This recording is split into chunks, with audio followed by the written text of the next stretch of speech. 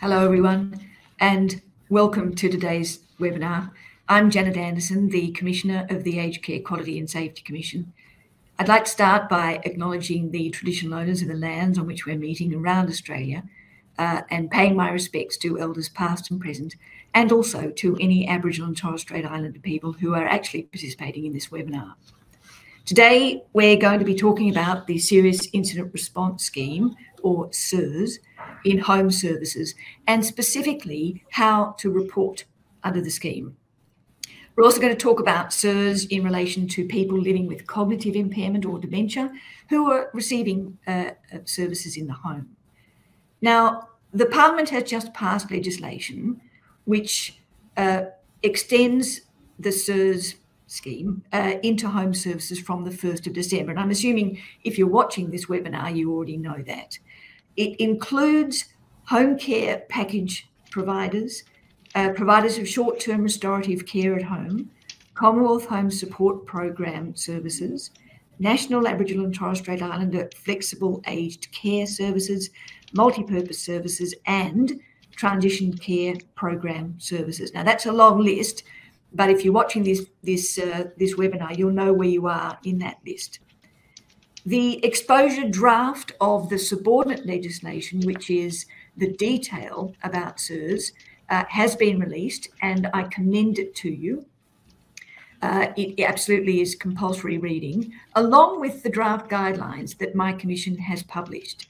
Uh, they have draft on them. That draft stamp will be re- removed immediately.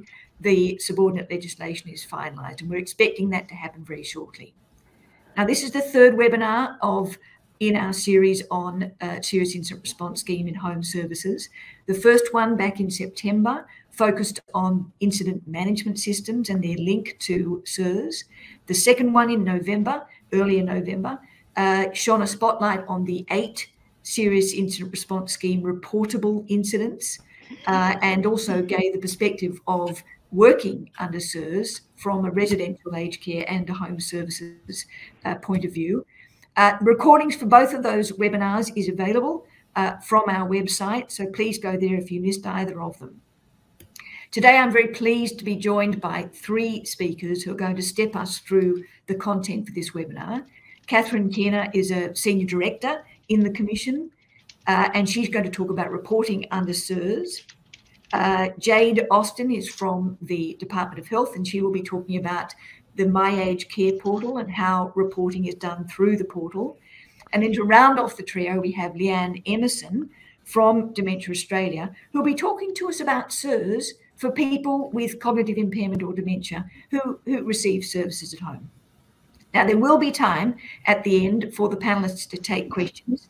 Uh, and we did receive some pre submitted questions. Thank you to all who, who put questions to us beforehand.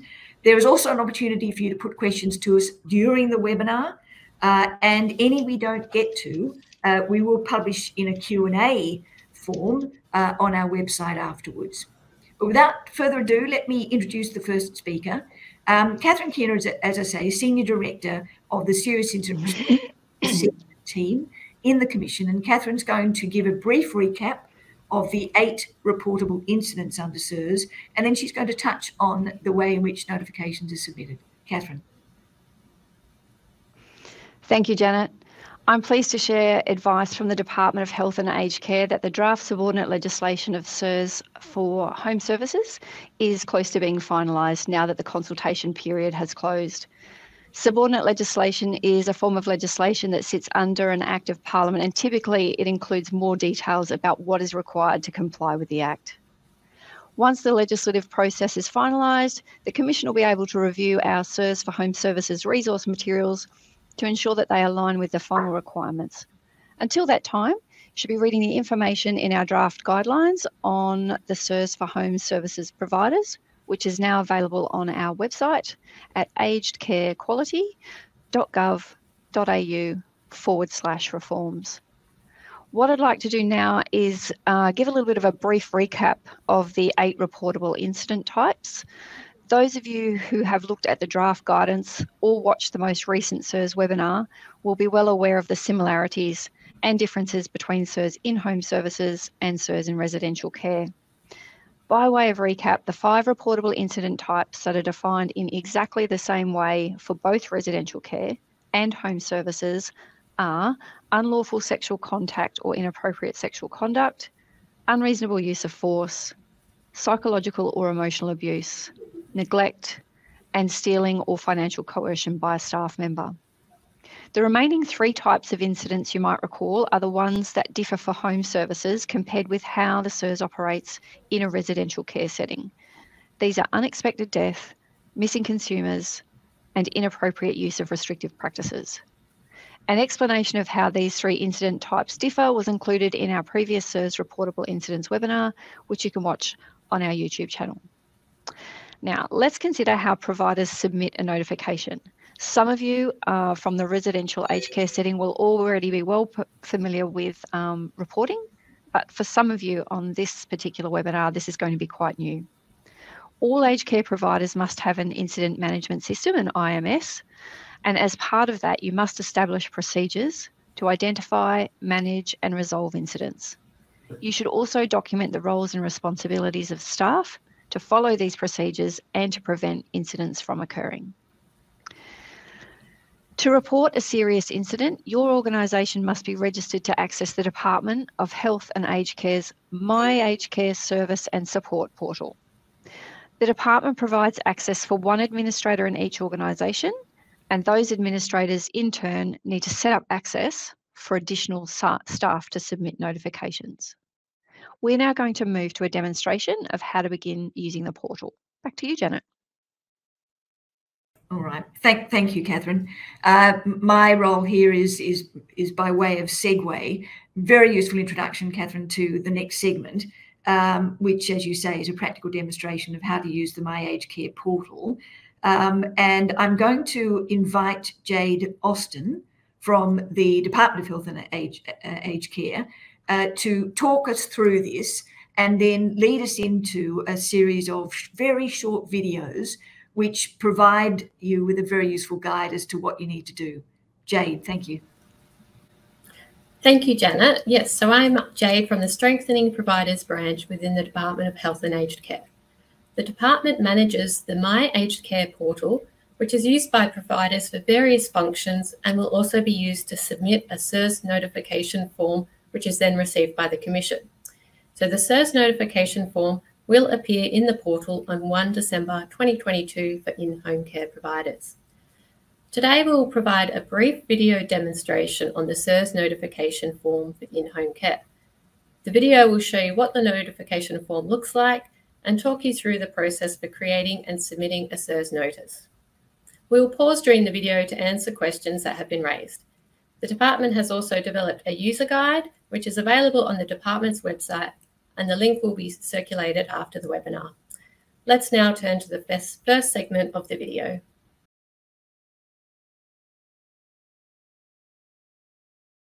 Hello, everyone. As you have uh, no doubt uh, worked out for yourselves, we're experiencing some technical difficulties with our videos, which is a real shame because we had three lined up for you, uh, each of them designed to, to give you information about the ways in which you would access the My Aged Care portal. It really doesn't matter though, because uh, we can make those videos available to you online uh, and you won't miss out on anything. What I'm going to do instead of uh, running those videos is to uh, go back to Catherine Keener. Um, she has some important tips and tricks about reporting uh, and also uh, a few things to say about the subcontractor uh, arrangements and, and whether that is in scope for SIRS. So, Catherine, how about you pick it up from here? Thank you. Thanks, Janet. I think we'll kick off with the subcontractor issue. As you may recall from the last webinar, Anne Wunsch talked about this particular hot topic. And even if you've engaged another organisation or worker to deliver some or all of a consumer's care and services, you as the provider remain responsible for ensuring the delivery of safe and quality care and services to meet your well-being, your SIRS responsibilities.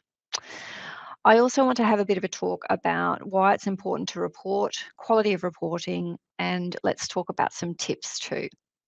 It's important to keep in mind that when a provider supplies clear and comprehensive information early on, it's less likely that the Commission will need to ask for further details or require the provider to conduct an investigation or, in some cases, directly investigate the matter itself. I'd now like to focus on some of the details often missed when a um, notice is reported.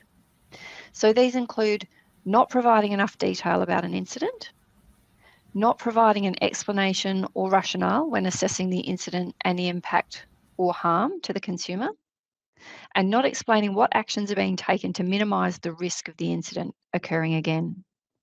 We understand that you won't always have all of the necessary information available to you within the first 24 hours when you're submitting a priority one or a P1 notice, but your notifications should still include as much detail as possible about what happened, what steps you've taken to ensure the immediate safety, health, and well-being of the affected consumer, and also what else you plan to do to assess the causes of and plan your overall response to the incident.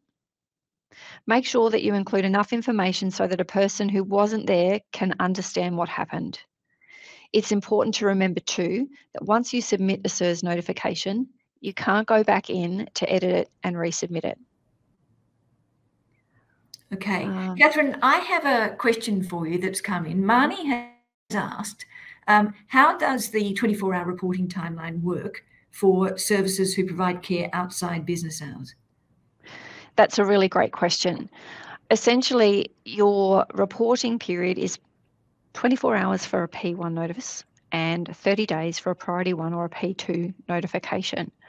What I think we really need to talk about here is that regardless of the day of the week, you're still obliged to make a report within those timeframes. But I think the key issue we need to recognise here is that um, you must report the incident when you become aware of it. So we acknowledge that um, a provider may not become aware of an incident occurring for some time after the incident, but once um, a provider is made aware of the incident, those reporting obligations apply. Okay.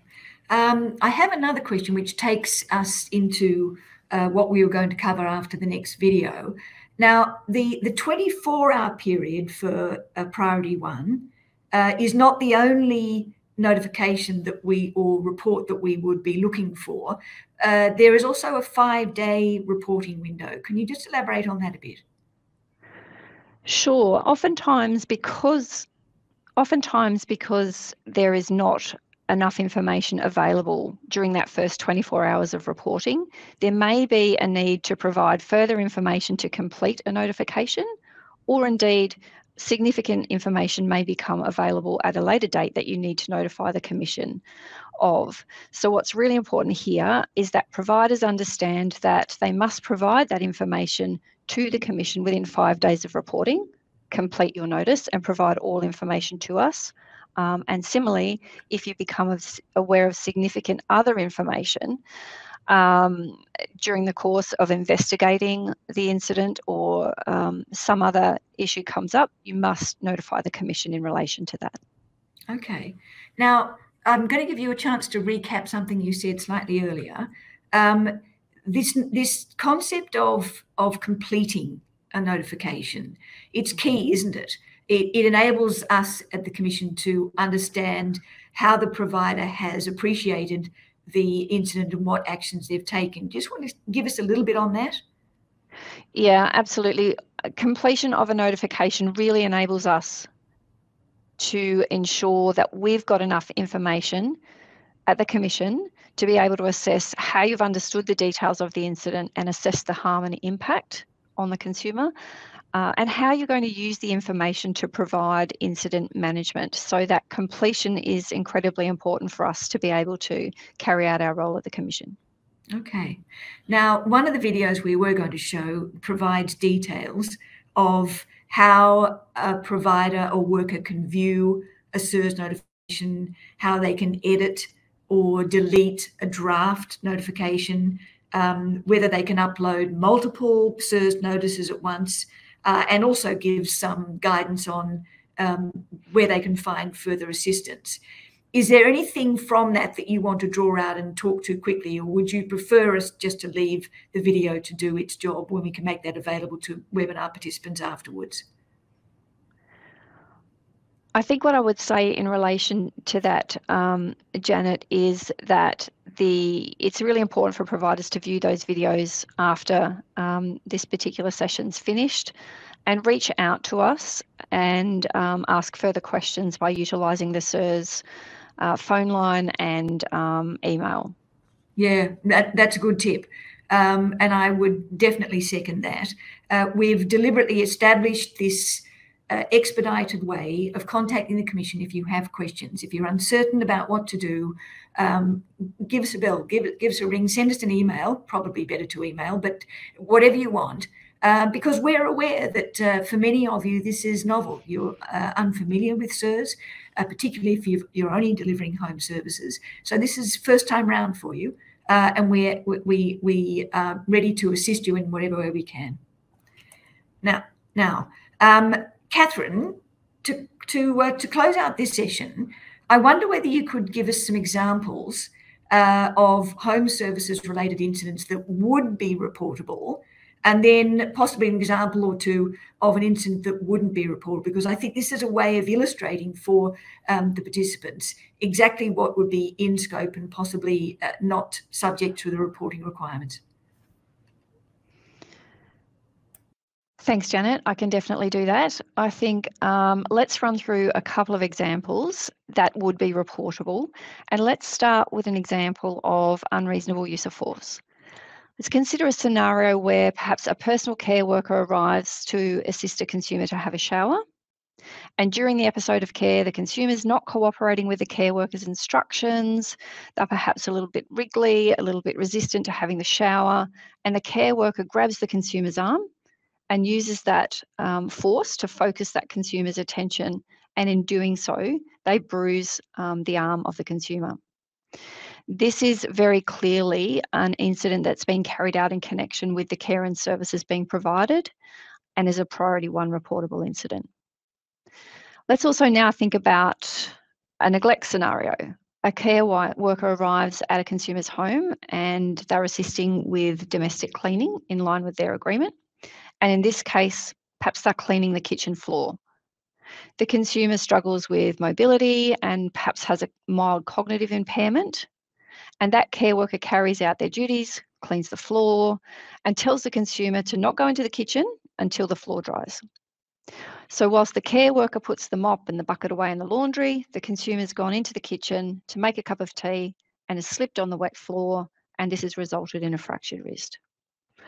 This incident also happened in the connection with care and services and would be reportable as a priority one reportable incident. If we now think about an example that would not be reportable, if we consider the category stealing or financial coercion by a staff member, we know that sometimes providers will receive reports or information about family members who have allegedly stolen money or goods of value from the consumers. And whilst this is not reportable under SIRS, because it's a family member, not the staff member who is um, involved in this incident, We'd expect that providers would record this incident in their incident management system and take any appropriate action outlined in their existing policies and procedures to ensure the safety and the well-being of the consumer. So Janet, that's a couple of examples of um, what would be reportable and one that would not be reportable. Okay, really useful.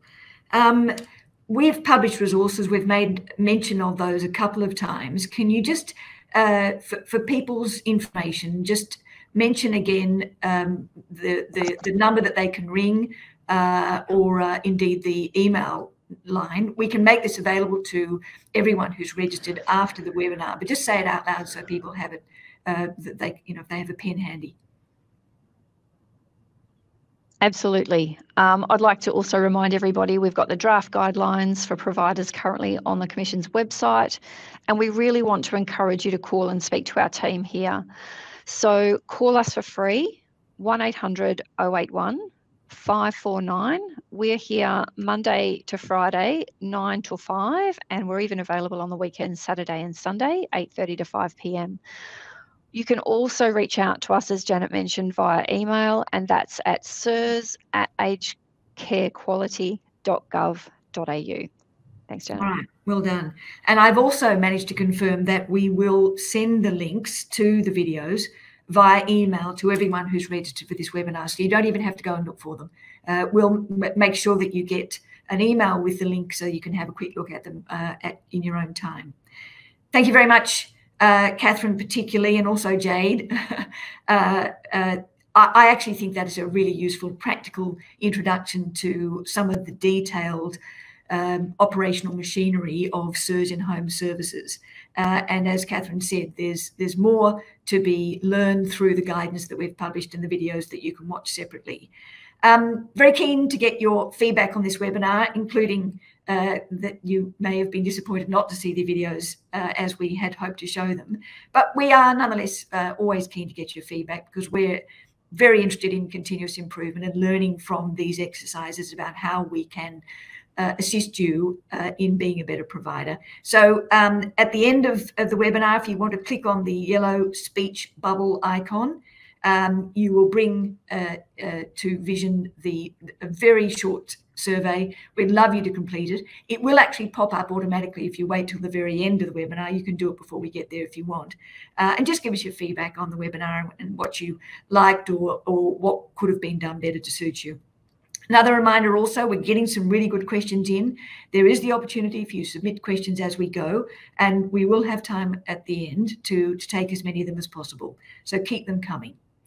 Now, I'd like to move on to the, the third speaker. Leanne Emerson is the Executive Director of Services at uh, Dementia Australia. Now, Leanne's going to talk about um, home services for people living with with dementia and SIRS in that context, and also, of course, the importance of person-centred care. Thank you, Leanne. Thanks, Janet. Uh, hello, everyone.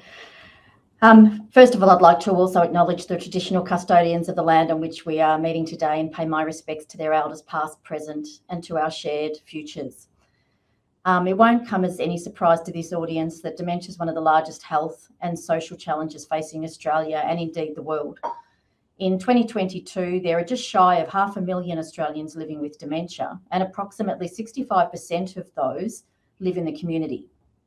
We know that without a medical breakthrough, the number of people with dementia is going to uh, increase to almost 1.1 million by 2056. As you know, the Royal Commission into Age Quality and Safety reported that 80% of older Australians want to remain living in their homes, uh, in their current home, and 62% of those want to receive community based aged care services. So, home based aged care services support people living with dementia and their families to continue to do that for longer. Um, and it continues to provide uh, really important uh, support and uh, enable older people to remain autonomous for as long as possible. This makes a substantial difference not only to the lives of people living with dementia, but also to their families and carers, as well as the broader community.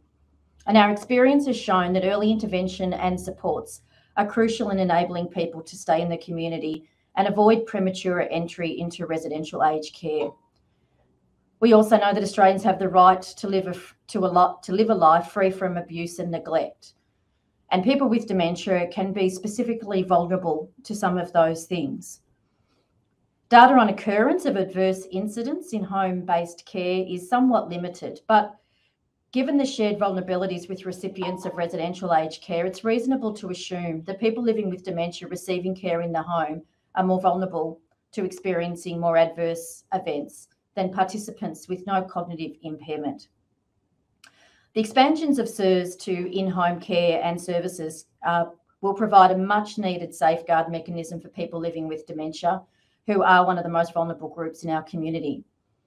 One of the most important considerations for providers is ensuring that people with dementia are, included in all of the conversations that relate to them. It's really important not to assume that the not to make any assumptions about the capacity of a person living with dementia. Just because someone has dementia, it doesn't necessarily mean that they lack capacity or lack capacity across all areas. Transparency and communication with the person living with dementia and their family is key. In the context of home care, people living with dementia are both vulnerable to incidences happening to them, but in some cases may also be the instigator of a serious incident. And this can kind of create really complex situations. As Janet has already uh, spoken about, aged care providers must have appropriate incident management and occupational health and safety systems in place that ensure that those sorts of situations are managed, as well as reducing the likelihood of serious incidents occurring. It's important that any framework follows a human rights based approach, recognises the dignity and autonomy of people living with dementia, and upholds their right to expression. This is where principles of person centred care are also useful. This involves developing a thorough understanding of the individual person and giving consideration to their cultural background, personal history, social and family networks, and preferences for activities in designing their care. The more you know about the person, the more you can plan and be prepared to communicate in a way that's best for them. Knowing the person well means that change behaviours can be picked up early and serious incidences avoided, which of course is the first step that we want to take. Where an incident is outside of SIRS responsibility, it's still important that incidents are managed and reported to the appropriate party. For example, if a care recipient, be that a person with dementia or a carer, has been threatened, harmed, or is in any kind of imminent danger, as care providers, we have a responsibility to do what we can to prevent further harm.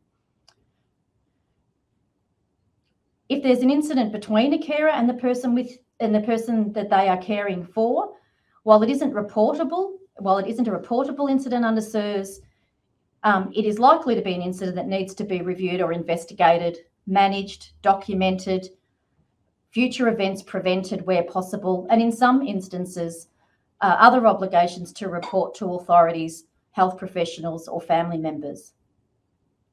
So I think it's really important to look at how we can prevent and manage uh, incidences both within SIRS where that applies and outside of it. It's also estimated that the prevalence of restrictive practices in home care may be as high as 24.7%. Whilst having robust incident reporting mechanisms are important, preventing serious incidents from occurring should always be the primary goal. And to this end, Dementia Australia believes that all aged care workers must have the necessary education and skills to support people living with dementia.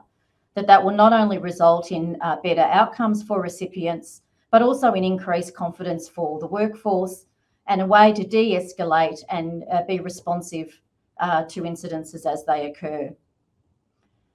This includes having a really thorough understanding of change behaviours in people with dementia, how to identify those, how to appropriately communicate with people as their dementia progresses. And that includes understanding non-verbal cues, which I think are, key when we're also looking at how to assess what might be a, critical incidence, as well as knowing how to report critical incidents to the Commission to support the expansion through in-home care. We know dementia education leads to fewer risk incidences, lower rates of inappropriate use of medication and restrictive practices, and more positive staff attitudes. So we feel very strongly that aged care providers and staff uh, need to start from a place of learning as much as they can and understanding dementia um, so that they're better equipped to continue to support people with dementia. We know from our work and broad consultation with people living with dementia and their families and carers that their view is if we get quality care right for people living with dementia, then we get quality care right for everyone. Thank you. Oh, well done, Leanne. Thank you very much for those insights and uh, really useful way of understanding uh, some of the, the challenges, but also the opportunities, I think, um, that are present for home service workers uh, and providers in delivering first class experiences of, of uh, aged care for um, um, home service recipients. That brings an end to our presentations, and it's now time to turn to your questions. And gosh, there are a lot of them, so well done, you. Um, Catherine, there are a fair few for you, uh, so I'll put you on notice. Um, first one is from Richard. He wants us to clarify.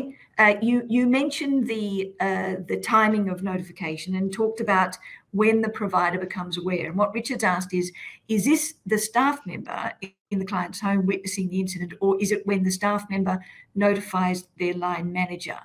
Now, I'm not sure that we would uh, create a, a, huge chasm between those two. Would we not expect that a care worker would be in in uh, uh, in touch with their employer fairly quickly if they were to observe uh, or uh, an event or an event occurred, an incident occurred? Catherine. That's exactly right, um, Janet. We'd expect that providers have, um, you know, policies and procedures in place that enable staff to understand their role and responsibility in in um, reporting serious incidents. To, so we're ensuring that there is uh, not a big chasm, as you suggested, between when that incident occurs and the staff member um, is aware of it and then makes the provider um, or other managers, line managers, aware of what has actually happened. So I think um, in terms of the key takeaway here, we're really thinking about are staff trained and do they understand their role and responsibility in relation to SIRS reporting? Okay. Um, there's another one here uh, which I've lost. Uh, I'll need to come back to it. Um, there's a question about volunteers, uh, and uh, an individual said that they have a lot of volunteers in their service who visit care recipients in their homes. And what are their reporting responsibilities under SIRS? Are they included?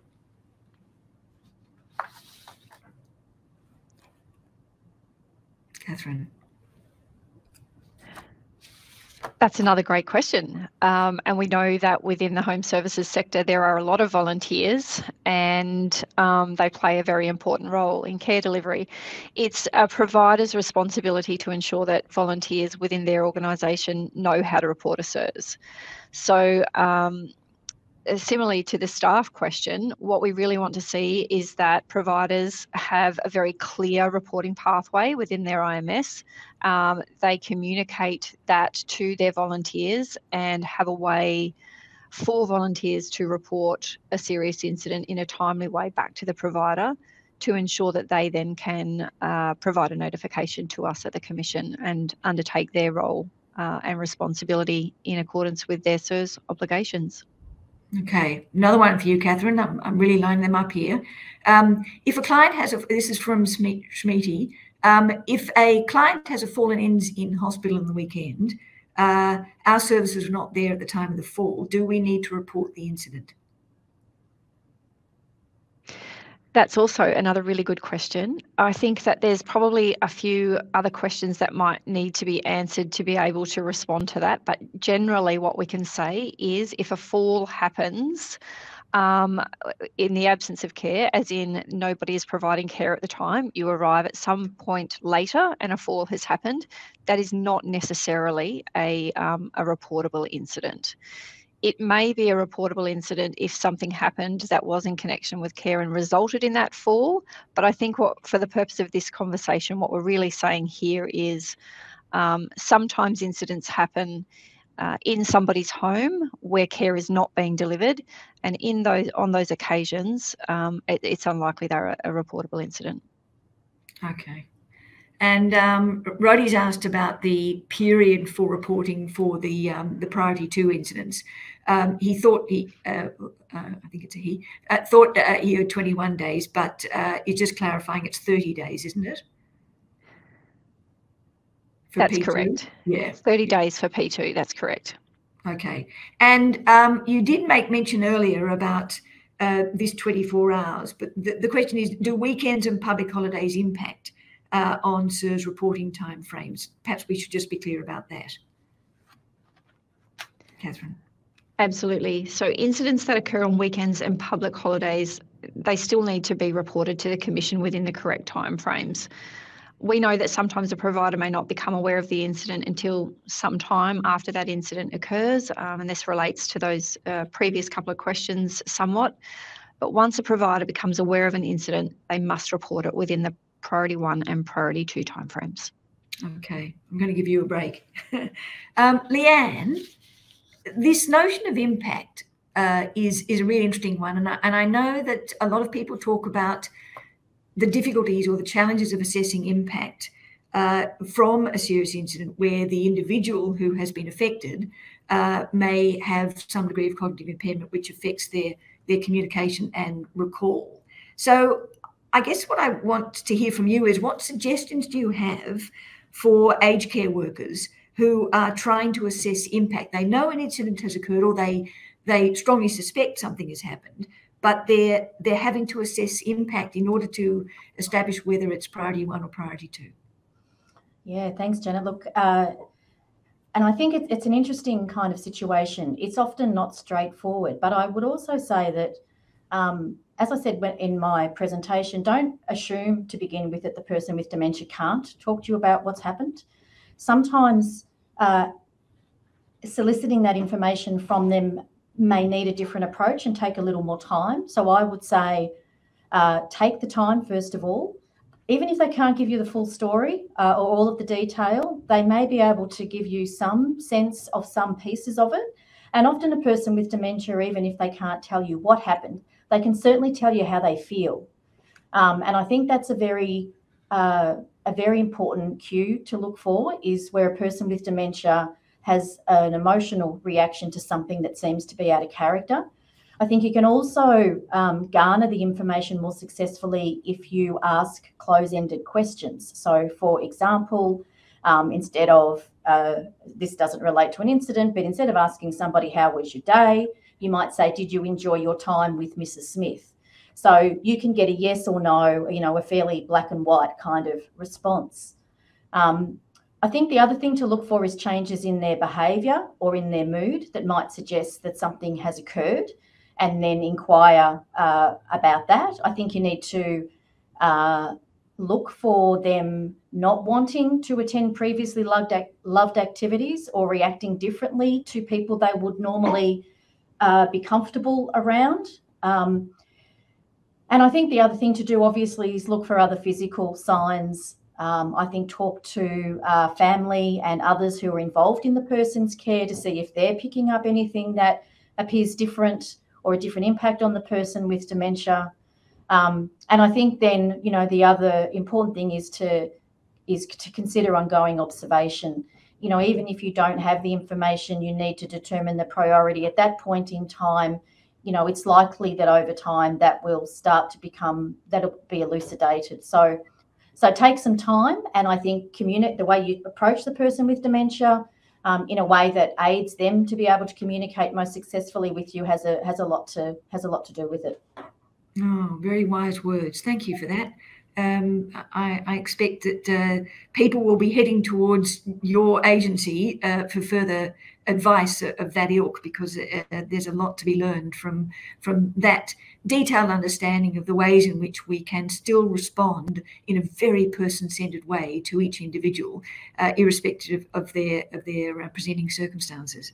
Leanne, another one for you, and this is one that uh, Marie has asked online, and which also came in as a prior question, and it's about where a care worker observes something happening that someone else is doing uh, which therefore moves it out of the scope of formal reporting under the Serious Incident Response Scheme, but is nonetheless uh, a troubling practice. So the, the one that's come through from Marie is uh, what are your thoughts about families who uh, keep their family members with dementia locked inside homes when they're out, but the individual doesn't have to be supervised while they are out? Um, and then the, the one that we received beforehand is um, what should a carer do if they notice a family member using a restrictive practice with uh, an elderly relative with cognitive impairment, such as keeping them indoors um, or placing their walker out of reach. So, what are your thoughts on A, is it reportable? And my understanding is it's actually outside the, the guidance that we provide in terms of um, incidents occurring in the course of care. Um, but it's nonetheless sufficiently troubling that you wouldn't want to ignore it. So, what's your advice? Yes, and actually, we have this in our line of work at Dementia Australia. We come across this quite often, um, actually. So, no, I, I, don't believe it is reportable through SIRS if it's a behaviour that's happening between uh, family members or, or others that are not um, Commonwealth funded uh, providers of care. Um, but I would say if you believe that a person with dementia is uh, being neglected or harmed in any way, um, there's still action to be taken. And I think a really good place to start is by contacting OPAN or uh, one of the uh, senior rights organisations across the country who can do a bit more investigating than what you are able to do as a provider, as a rule. But I think the other thing to consider is um, often for family carers, this comes down to a lack of understanding and information about dementia. Um, I think there's some uh, easy things that you can suggest to families uh, who may be well intended but not offering the best solution by way of encouraging them to have a have their GP or another health professional review what's going on um, and suggest some other strategies to minimise any kind of real or perceived risk. Um, I think there's also uh, you know a strong argument for uh, sending the family and carers in the direction of getting them some information and, and support. And quite often, our role is in coaching them, if you like, around other ways of managing whatever their concern is or whatever the behaviour is um, in a way that doesn't move to restrictive practices. So, you know, I think it's not a black and white situation. You need to both be able to address the, the behavior that's that's not okay, but also, you know, skill the skill the family carers improve their capacity to be able to manage that situation um, in another way. Because, you know, really nine times out of 10, it's well meaning family who just don't know a better way. Yeah, I think uh, further really good advice. Thank you for that, Leanne. Jade, I'm getting a lot of questions on the My Aged Care portal, so I'm going to come to you with, with some of them. To, to start, uh, if a provider has never used the My Aged Care portal, and I expect we do have a few of them online, um, how can they get access to it? Janet, thank you. Um, so, as mentioned before, so providers will require access to the My Aged Care portal, portal to notify the Commission if a reportable incident occurs. So, this is the same portal that providers use to manage information about their services, manage referrals, update client records, generate reports, and ask assessors to review a client's support plan. So if there are any providers that still don't have access to the My Aged Care portal, they should contact the My Aged Care service provider and assessor helpline for assistance. And the number there is 1800 836 799. It's 1800 836 799. So for providers that already have access to the My Aged Care portal, the SIRS notification form will appear on 1 December 2022. So the organisation administrator can manage staff access to the portal, including creating accounts and granting staff already on the portal access to the SIRS tile. So information about how to provide a staff member with access to the SIRS tile is included in the user guide that, that is now published on the department's website and we'll circulate the link after this webinar as well. Okay. Thank All you. Right. Um, Jay, there's a there's a follow up question in relation to uh, the submission of additional information. Um, Catherine spoke about the the information which can come in it, within that five day period after the first notification. And the question's been asked: Is that also submitted through the My Aged Care portal? Can you answer that? Um, I'll have to take that one on notice. That is a very good question. But okay. I believe there's also there's could be a mechanism where you might direct um, con- direct con- directly contact the commission. Okay, Catherine, I I don't know uh, whether you can answer that.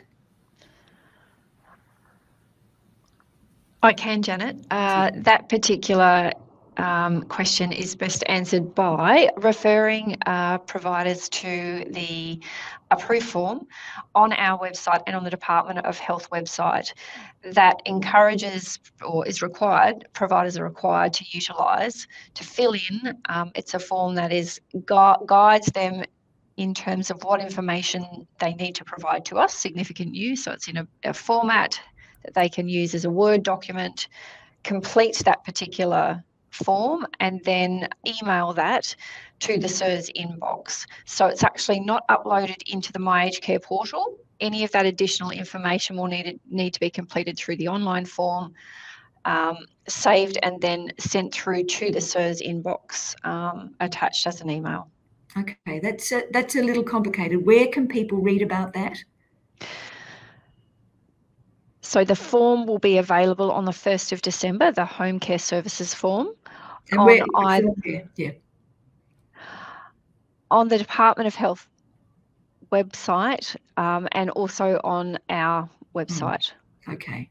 So if people visit our website and hopefully, and I know it will be well labelled, well well uh, identified, people can get access to the necessary information and also the the form that's required to be completed.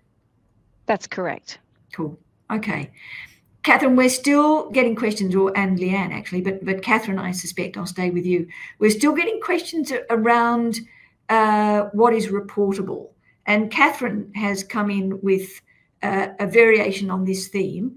Um, Catherine has asked uh, whether, uh, in the circumstance where a client reports that their son is stealing vast sums of cash from them, so you have the potential for financial elder abuse uh, is that in scope for reporting? If I understand the, the question correctly here, we're talking about the son who yes. has um, is reporting financial abuse but hasn't occurred by the son? No, I beg your pardon. The son is stealing money from the individual, the client, uh, to whom services are being provided. Great. So in that instance, that's similar to the uh, non reportable incident that I talked about before, in the sense that stealing or financial coercion by a staff member is certainly uh, well within the scope of the scheme, and we would expect uh, providers to report that type of incident. But where it's stealing uh, or alleged stealing by a family member, we would expect providers to take that up through their existing IMS processes and, and escalate that through pathways that they would already have established uh, for managing financial coercion. So, referring clients off to um, an appropriate support person uh, or organisation. Um, or um, advising the consumer of their um, options, but certainly having processes themselves in place to manage that. But it's not a reportable incident for SIRS. Okay. Uh, we will probably need to provide some more examples of that uh, on our website because it does seem to be an area where where people have uh, questions and understandably so. We do need to uh, offer as much clarity as possible as you've as you've sought to do in your answer. Um, Jade, I'm going to come back to you. Uh, uh, My Aged Care pool continues to attract a lot of interest. Um, this is a technical question. Uh, are there any plans for My Aged Care to release an API for integration with incident management systems to enable automatic report uploads? Thank you. So there are currently no plans in place to incorporate an application programming interface or API for the My Aged Care portal including the SIRS dashboard. So as part of the SIRS, providers must have their own incident management system in place, and the scale of each provider's incident management system will vary across providers to meet their own particular circumstances, as will the software used by providers. So we haven't imposed requirements to use a particular software for the IMS. So incorporating an API poses broader challenges in terms of compatibility, skill sets, and in-house infrastructure and network requirements. Thank you. okay. you. Thanks, Jade. Um, a technical answer to a technical question. Well done. Um, Catherine, back to you. More questions. Um, and this goes to the eight uh, reportable incident types. A very particular question from Jane. Uh, are all SIRS incidents expected to be reported to police? uh, accepting inappropriate use of restrictive practice? Now, the, the answer is no, uh, but you might want to elaborate on that. That's correct, Janet. Um, not all incidents are reportable to police. Um, and the guidance on our website will be able to give you, we wouldn't have time today to go through each mm-hmm. incident type, but I would suggest that you refer to our guidance on the website, which gives clear um, indication of which incidents are reported to police and in what situations. I think that is um, the best way to answer that one right now. Yeah, well done. Uh, I do think it, it does require that degree of study. So I do commend people to, again, uh, read up on the rules so that you know exactly what is reportable to police, uh, which is a subset uh, of the issues which are reportable to the Commission. Catherine, uh, a few people have asked, and it's a perfectly reasonable question what do we do with the SIRS incident reports when we receive them?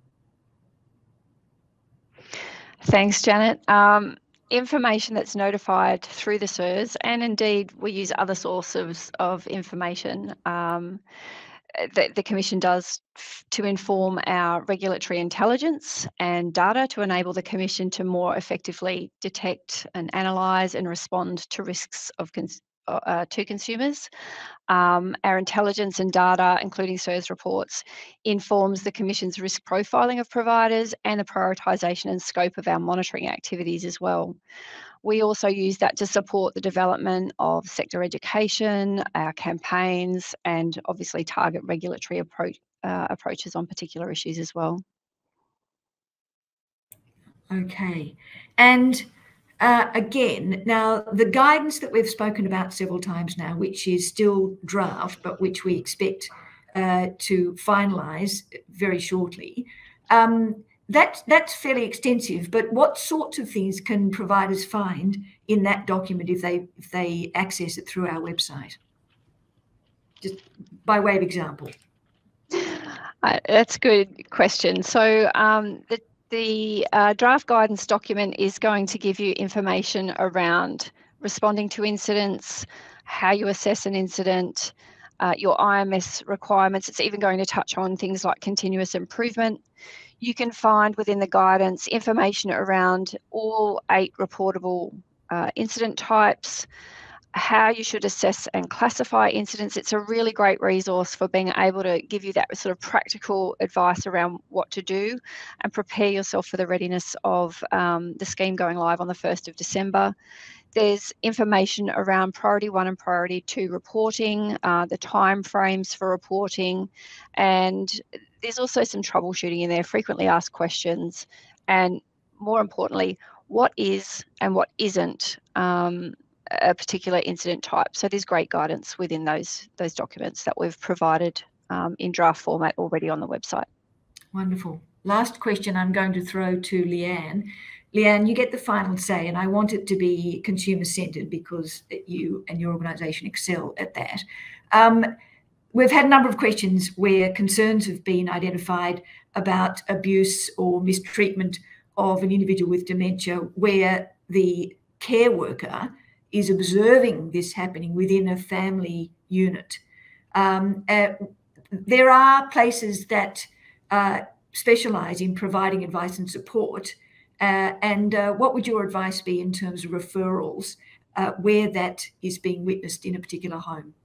Yeah, thanks, Janet. Look, what I'd say is, um, you know, this comes up uh, all too often, unfortunately. And I think there's a number of places that as service providers you can go to either get advice about how to manage that or to in fact report a concern.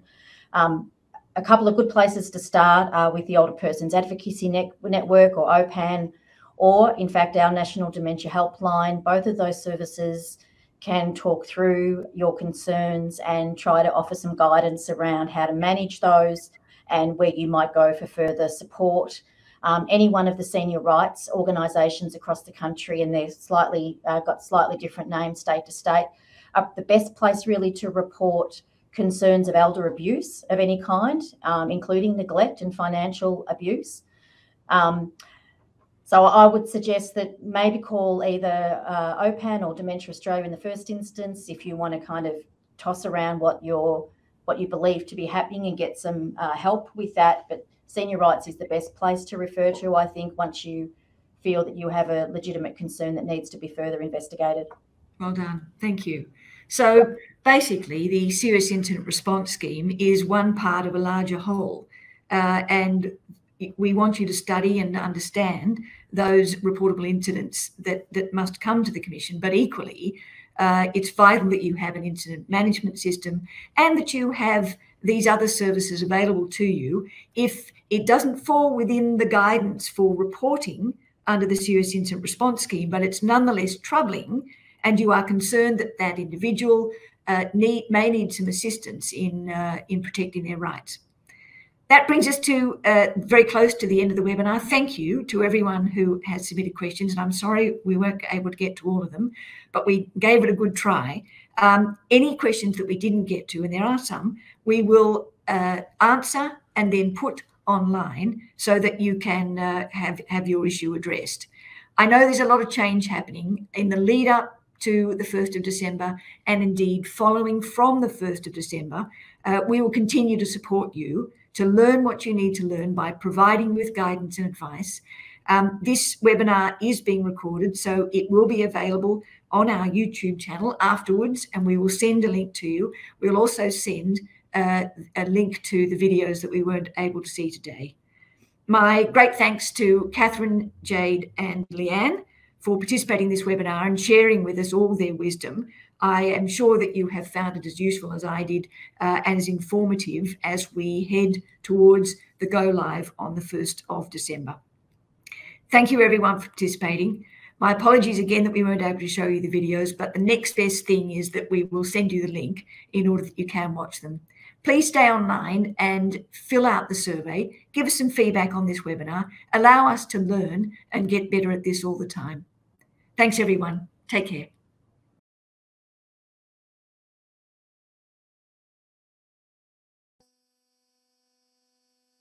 This presentation provides an overview of the processes for reporting incidents via the Serious Incident Response Scheme tile on the My Aged Care Provider portal. Access and permissions to report incidents through the portal will depend on your user role. Administrators hold the majority of permissions and can provide staff with access to the SIRS portal. This includes providing access to subcontractors and third parties. This is the homepage of the My Aged Care Provider portal. Administrators can provide employees with appropriate access through the Staff Administration tile to ensure they're assigned an appropriate user role. Steps on this process are available in the reference guide.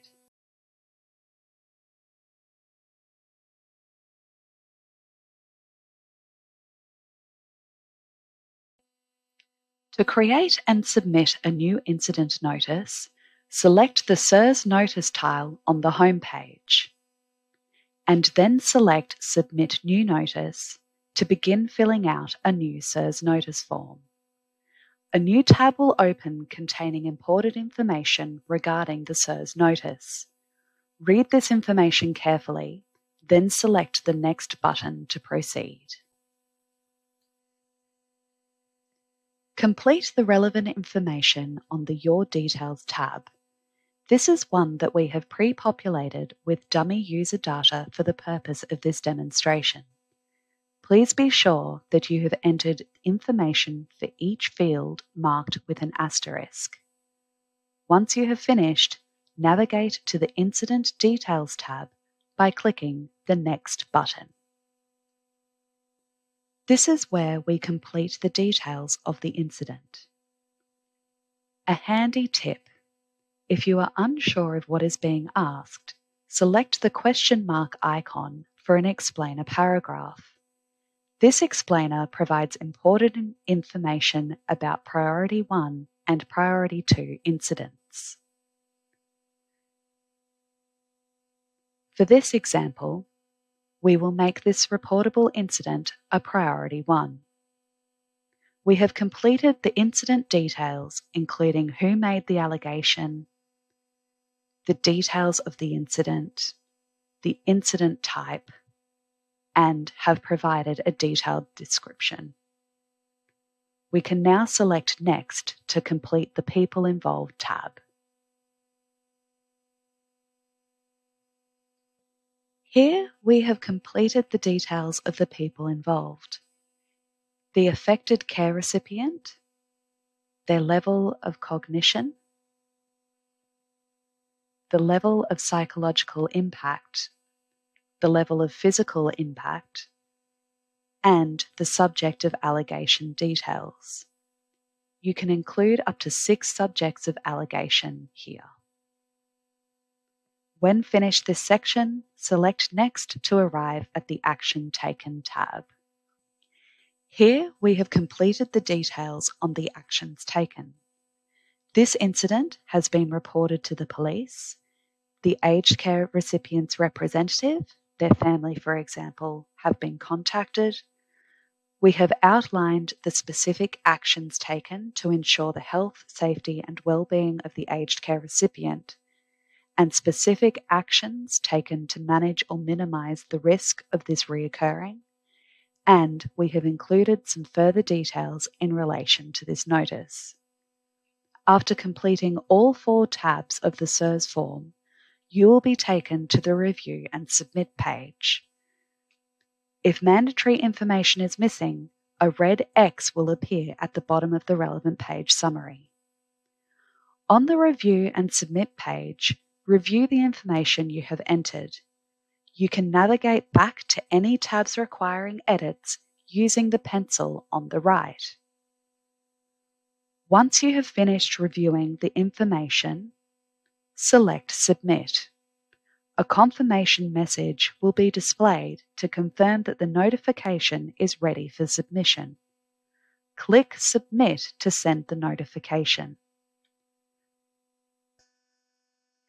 The submitted notification can now be viewed in the list of existing notifications. Please note, once a form is submitted, it cannot be retrieved or deleted.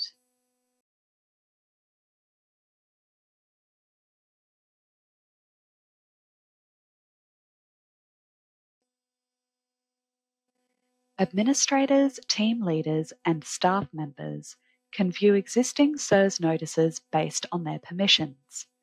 You can do this by selecting the View and Update Existing Notices tile on the SIRS page of the portal.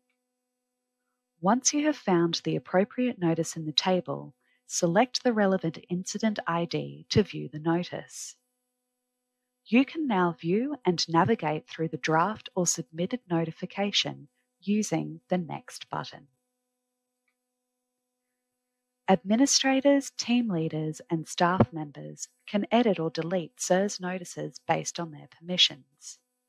Should you wish to edit or delete draft SIRS notices, follow the same process to find the draft SIRS notice and select the pencil symbol to edit the draft notice or select the bin symbol to delete.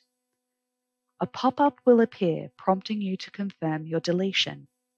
Once a notification is deleted, it will not appear anywhere on the portal and cannot be searched for.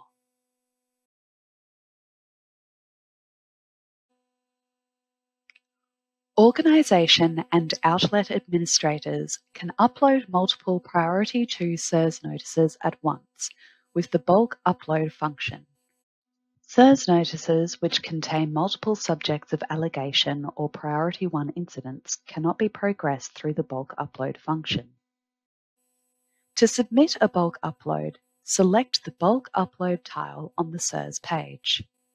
Bulk uploads need to conform to a specific template in order to be valid. Once you have completed the template, upload the file to the bulk upload page. This is an example that we pre-populated. Once you commence the upload of the file, processing of the file will begin as indicated by the processing status in the table. Once the status changes to processed or processed with errors, select the magnifying glass symbol to view the upload details. An upload validation page will be displayed listing the SIRS notices uploaded from the template.